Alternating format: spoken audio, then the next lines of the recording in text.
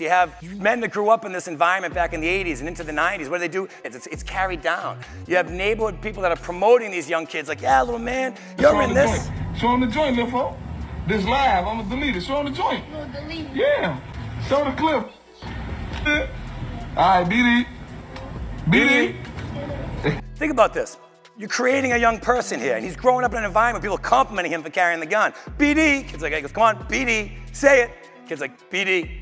It's, a, in, it's an indoctrination, and, and these kids get used as what we call crash test dummies, all right? They're expendable. You get caught with a gun, ah, you're a juvenile. Don't matter, you're not really one of us anyway. So you can carry that for us, you can use this stuff for us. I can groom you.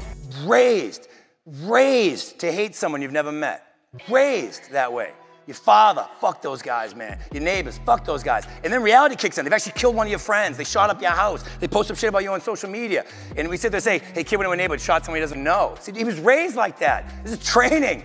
I can create an assassin right now. You give me a baby right now. You give me 15 years. I can't be a killer. I can do it.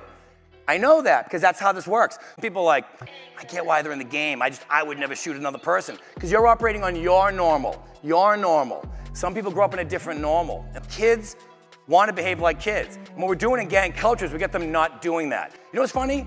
Maybe, maybe there's an intervention window here we should be paying attention to.